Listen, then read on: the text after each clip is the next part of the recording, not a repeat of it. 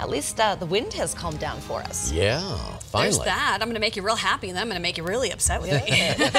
uh, still tracking that storm on Friday. So for the Yeah. Rockies home opener, we could see about a half an inch to an inch of snow that afternoon. It's one of those things where everybody's like, is it really going to snow on Rockies home opener? Yeah, good. It's April. I mean, we It's good. typically get some pretty good snows in April. Yeah. We can. Uh, right now, we're looking at a dry, yeah, calmer forecast. You saw from that shot a little hint of our sunrise this morning. Mix of sun and clouds this afternoon. will be in the low to mid 30s early on if you're walking out the door right now. It's chilly. You want a couple of layers on. We'll be in the mid 60s though this afternoon. So it is a warmer day today, a lot warmer than what we saw yesterday. It's also much calmer across Colorado this morning. A very nice calm drive in. Mix of sun and clouds expected, and we'll be in the 60s not only today but also tomorrow. So we've got two pretty nice days ahead of us. Here's a look at that shot again. And right now, Denver, some upper 20s to low 30s. Winds northwest at around 5 to 10 miles per hour. Uh, When you look at satellite and radar, we had a few clouds filter through this morning. That is starting to clear up. And statewide, if we get a little moisture here in the next 24 hours, it would be some spotty snow showers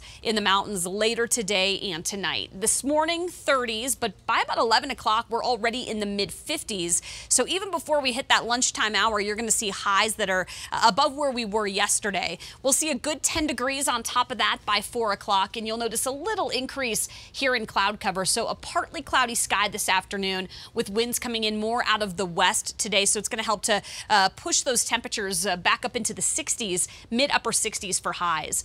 Overnight, we're again in the upper 30s to low 40s early tomorrow morning at about 7 o'clock, more sunshine, and then an increase in clouds tomorrow afternoon. At that point, we're going to be tracking more rain and snow in the mountains starting Thursday afternoon into Friday, and that's the next storm. So from 60s today and tomorrow, and high fire danger across parts of southern Colorado to snow on Friday. Now, these are uh, fire weather warnings are in effect until tonight. It is going to be a little breezy and really dry. Relative humidity down to about 5, even 10% down across parts of southern Colorado. 60s today, 60s again tomorrow. Now, again, tomorrow afternoon, we'll start to see an increase in cloud cover.